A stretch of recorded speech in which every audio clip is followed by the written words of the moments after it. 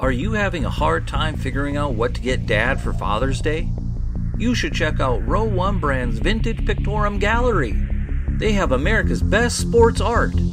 With over 7,200 historic sports prints, you're assured to find something unique for dad this Father's Day. Instead of a boring old tie, get him a historic baseball photo taken by Henry High Sandom at the historic Polo Grounds Stadium in New York City during the 1894 Temple Cup.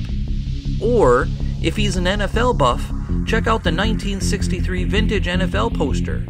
These are so good looking that you'll be amazed how they turn out.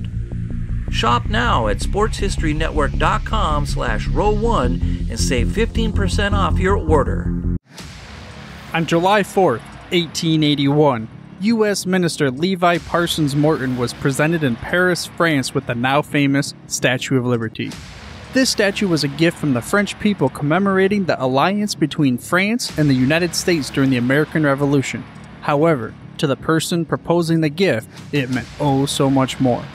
You see, Edward de Laboulaye proposed a monument be built as a gift to the United States for the perseverance of freedom, including at the time the late President Abraham Lincoln in the pursuit of abolishing slavery because he felt all peoples deserved the natural rights to life, liberty, and the pursuit of happiness. This week's hero felt the same way, and he ran his team that way. And it all revolved around a little town called Hammond in the state of Indiana. Welcome to the Football History Dude podcast where each episode is a journey back in time to learn about the rich history of the NFL. Your host is Arnie Chapman. Football is his passion, and he wants you come along with him to explore the yesteryear of the gridiron. So hop on board his DeLorean and let's get this baby up to 88 miles per hour. Great Scott! This time, as we step off the DeLorean, the date is December 18th, 1881 and we are in Hamilton County, Indiana, to witness the birth of another unsung hero of the NFL, Dr. Alva Andrew Young, or just better referred to as Doc Young. Now, this Doc, why is it so important? Why does this reference to the beginning with the Statue of Liberty come into play? He was born just about eight months after the initial unveiling of the statue in Paris, France. And just like the founding fathers, he was a founding father of the NFL. But his biggest contribution to the league was not just being present and being a founding father of the NFL, sitting there September 17th, 1920 in Ralph Hay's Hupmobile Auto Showroom in Canton, Ohio. No. He would have a different type of impact on the game. But we'll get into that. How did he have an impact on the game? How was he even invited to that September 17th, 1920 meeting? Well, Doc Young represented the Hammond Pros. And we're going to talk a little bit about the leading up to that meeting. And most of this information comes from a well written article from Bob Carroll on the Pro Football Researchers Association website, which, of course, I'm going to leave a link to that in the show notes for you. By the way, you can get to the show notes through your podcast player or by heading to thefootballhistorydude.com. Again, that is thefootballhistorydude.com. Also, while you're at it, I ask that you please subscribe for free to this show by mashing that little subscribe button in your podcast player of choice. That way you get the hottest, freshest off the press episodes well each and every week. But let's get into Doc Young, a name that I personally never heard of. He is also someone that we could say is synonymous with the success of the early NFL days. But as a doctor, how does he even become to the point where he's able to be one of the founding fathers of the NFL? Again, we're going to go back a little bit, but a side interesting note is that according to the same article, he was a descendant of the brother of Brigham Young. You know, the whole BYU and Steve Young, probably the uh, biggest NFL star that ever came out of that school. But football was not his only game. Sports were in his blood. Doc Young loved all sorts of different. He was a horse racer. He was promote boxing. He was in baseball. All sorts of different things. But he always did have an interesting tidbit, like, oh, this football thing, I'm kind of curious about what's going on here. So his football career began in 1915. He served as the team doctor from 1915 to 1917 for a team called the Hammond Clabby Athletic Club. And an article, another one from Roy Tsai and the Pro Football Researchers Association, kind of described who the Hammond Clabbies were. He said, the 1915 season for the Clabbies started with manager John Hartley putting out a call for players. This was published in the Saturday, September 4th edition of the Lake County Times. All candidates were to report to Harrison Park the next day, promptly at 9:30 a.m. This same call for players was also published in the Detroit papers, as some of last year's players were from the Detroit area. End quote. So you're just throwing out a call to players the day before in the newspapers, and you're hoping everybody shows up. It just seems like a haphazard way to organize a team, but that's how it was at the early stages. That's one reason why a doctor who wasn't necessarily a football player was able to begin a football career and ultimately become one of the more important individuals at the beginning of the NFL. And sometimes it makes you wonder though, how did this survive? Well, again, Doc Young. From this story, people like him that were dedicated to trying to get the league to survive, not just winning the games, were one of the reasons why this league ended up being successful, and they were oh so critical. But let's go back to the Hammond Clabbies. The Clabbies, how did they even get that name?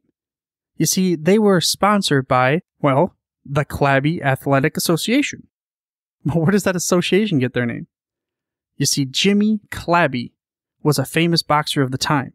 In fact, he won the 1910 World Welterweight Championship, and he was one of Hammond, Indiana's most prominent citizens. So they named a whole athletic club after him. And then, of course, they named the football team the Hammond Clabby Athletic Club because they were sponsored by that club. It's just a little bit different. They were considered professional football players, but it's not the same as it is today. Now, fast forward a little bit to 1919. The article also stated that Paul Pardun established a strong Hammond team known as the Hammond All Stars, where their home games would be played in Chicago at Cub Park, which is now Wrigley Field. So on the map, it's like I'm looking, Hammond is about 35 miles or so away from Wrigley Field, and I'm not sure 100% why, but I gotta imagine it's because they didn't really have many stadiums that were capable of playing these games. So they really didn't have too many home games. But there was an interesting tidbit that came out of that 1919 season because one of the players was named George Halas. He was the star end for the Hammond All Stars.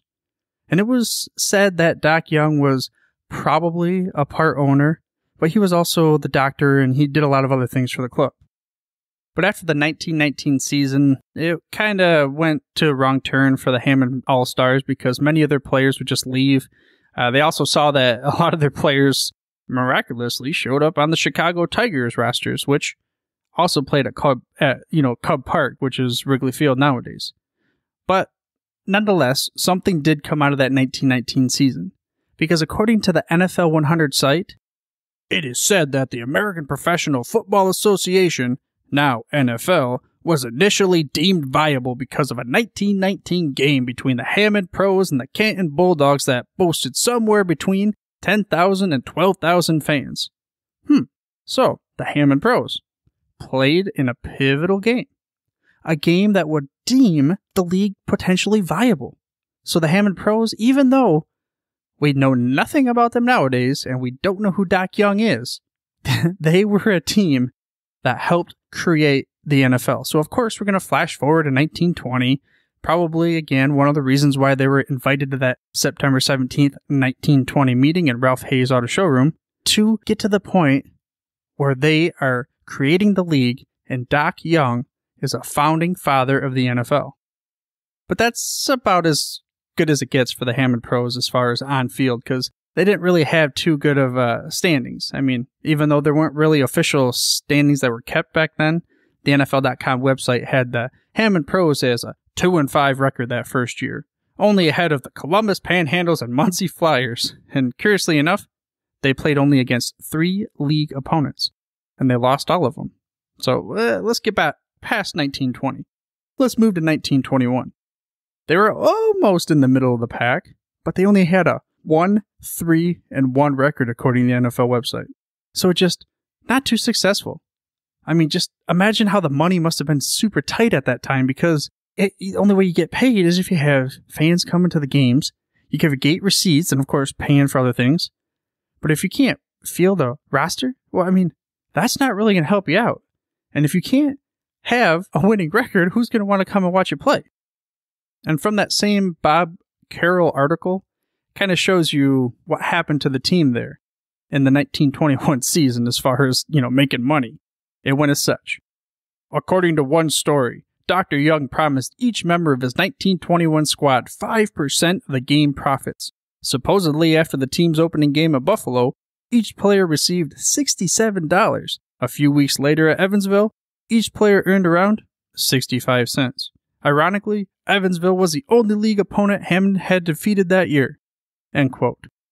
So you're saying one time I'm making 67 bucks and then I'm making only 65 cents. I'm not so sure I'm going to stick around too long.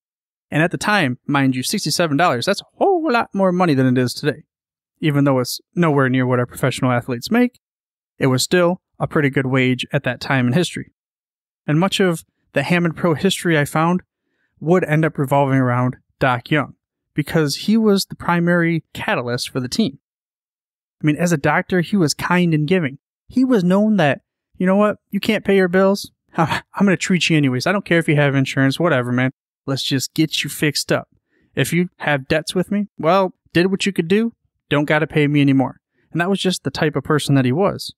And he had that mentality with his NFL team because he wanted to make sure that the league survived. So I think that even though Hammond Pros didn't have a very successful in the box score type of standings, we do have them to thank for what we get to enjoy in this 100th season as we watch, hopefully, well, it's too late for my Detroit Lions, but we watch somebody else that we want new to get to the Super Bowl. But according to his son, Harry, Doc Young thought that Wilbur Fats Henry was the greatest player he had ever faced. They actually tied the vaunted Canton Bulldogs 7 to 7 one year. They could hold their own every now and then. But also from his son, there was a commonality with Fats Henry. It has nothing to do with football, but I thought it was kind of funny to see this. He said that, quote, he was a heavy eater and loved pork chops and apple pie for breakfast. He ate all the things a modern doctor forbids. Just imagine that pork chops and apple pie for breakfast, and you're a doctor telling people what to do. But regardless of the situation, he also supposedly got in an argument with Curly Lambeau over the type of ball that they were going to use in league games. At the time, what was called the Spalding J5 was kind of like watermelon shaped. It was good for drop kicking and all those sorts of things. We talked about Curly Lambeau, ah, it was quite a bit ago about being, you know, the last great drop kicker, but he was known to be one of the best passing quarterbacks in the league at the time. So he was all like, hey, I want a thinner ball because it would be, make things better for the passing game. So it was one of those deals of, hey, you just want to try to get a leg up on everybody. And the other guy's like, we're, we're, just, we're trying to make the league go fast forward and stuff like that. But regardless of what it was, here we are. We have in 2019 a passing league.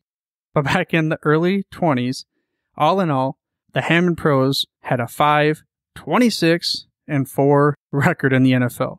They would end up getting kicked out in 1926 when the NFL was just trying to basically boot out teams because it was getting out of hand, too many teams and trying to manage everything. So ultimately, they actually got rid of 12 that year. But one reason that it was difficult for the Hammond Pros, it is because they had to play basically all of their games. They were technically away for the most of them. Because, like I said, remember, they had to play up at Cub Park in Chicago. They're in Hammond, Indiana. That's a whole state over. Granted, the states are next to each other and is really not that far away, but still, they really didn't have a true home field. So how are you supposed to get the loyal fans? Especially in an era where they didn't have the radio broadcast, especially in an era where you don't have TV, you don't have the internet, you don't have fantasy football, all these other things. So I can understand how it was difficult for them to feel the team, get loyal fans, and to stay active in the NFL. But even though they were unsuccessful in the box score and their standings did not have anything to write home to mama about, they still made a major impact on the league. Not just because Doc Young was one of the founding fathers of the NFL, but because Doc Young was one of the few that was willing to employ African American players in the early days. and his son Harry said this quote, Dad was not a civil rights activist as we know them today. He was simply colorblind. And it was brought up a point in the article with Bob Carroll, and it was mostly different kind of quotes from his son Harry, the Doc Young's son Harry, that is. He brought up how the Ku Klux Klan was prominent around the main areas of professional football Indiana, Ohio, Pennsylvania, and all sorts of other things, of course. But it's something to think about at the time. And the KKK, you know, I don't have a whole grasp on the full story and history of how that all went down. I mean, I've been told certain things throughout my life. I've heard only of certain things, but it's got to be very difficult to try to run a league. You got to be harassed probably by all the other players around you or coaches, maybe even the fans. But Doc Young, he stood his ground. Just like his son Harry said, he was colorblind. He didn't care. Everybody was the same. Just like we talked about at the very beginning of the episode when that French dude who his name is kind of hard to pronounce thought that everybody deserves equal rights. So this is starting, and it was one thing that probably added to the difficulty factor for becoming successful in the NFL. But regardless, this is again from Doc's son Harry from the Bob Carroll Professional Researchers Association article. And it's a quote, and it goes as such The black players had a rough time in Indiana. The Christian church next to my grammar school had a fiery cross burning from its steeple. Many times I would see a KKK funeral after school with the white robes and masks. I remember we once played a game of Kokomo and the restaurant had signs that said, This is a 100% American establishment. No coons, kikes, or Catholics. They refused to feed our black players. I don't know what Dad did, but I do know he cussed the apple knockers. Ink Williams kept his helmet on the whole game. Again, think about trying to start a league and already having people not believe in you. But being willing to go against the grain to do what you feel is right. And I do not know a whole lot about the KKK and its resurgence and the whole hatred that was so much more than I realized. But getting back to this narrow little thing, to football, how much of an impact did having black players on the team affect the teams willing to do this at the beginning?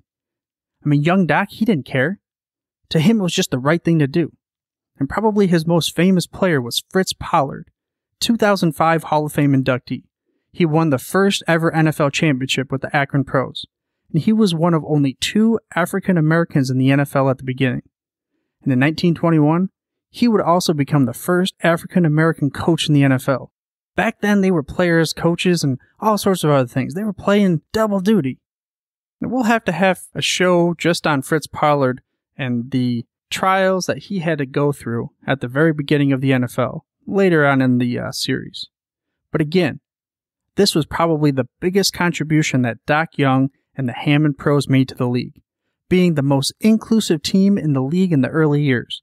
The team may have only had 35 games in NFL history, and unfortunately for them, the total record was only 5 wins, with 26 losses and 4 ties. And after being kicked out of the league, there wouldn't be another NFL team in Indiana until the trucks pulled in at Indianapolis from Baltimore on March 28, 1984. However, the five wins that meant the most to the league were not the W's in the box score. For you see, out of the 10 African American players in the league in the early years, five of them played at one point in time for Doc Young's Hammond Pros. I hope you enjoyed this week's episode of the Football History Dude podcast and were able to gain some gridiron knowledge nuggets of the most inclusive team in early NFL history. If you liked this episode, I ask that you please share it with the football geeks such as yourself by sending them to thefootballhistorydude.com. Now, next week, we get to learn about the other half of that 1919 game that deemed the NFL a viable pursuit the Canton Bulldogs. But for now, dudes, I'm through, through, through. Thank you for listening to this episode of the Football History Dude. To make sure you're the first to get the next episode, please subscribe on your podcast player of choice and head on over to thefootballhistorydude.com for the show notes and more information on the history of the NFL. And remember, dudes, where we're going, we don't need roads. We here at the Sports History Network proudly partner with 26 podcasts, all revolving around the history of sports. But did you know that many of our hosts were sports history authors way before they started their shows? It's true. We've got Joe Ziemba, host of When Football Was Football, Joe Zagorski, host of Pro Football in the 1970s, Mark Morthier, host of Yesterday Sports, Tommy Phillips, host of Lombardi Memories, and Scott Adamson, co host of From the 55 Yard Line. All these authors have many books for you to choose from. To check them out, go to our website at sportshistorynetwork.com slash sportshistorybooks. Pick up your copy today! Soundtrack provided by Kevin MacLeod of filmmusic.io.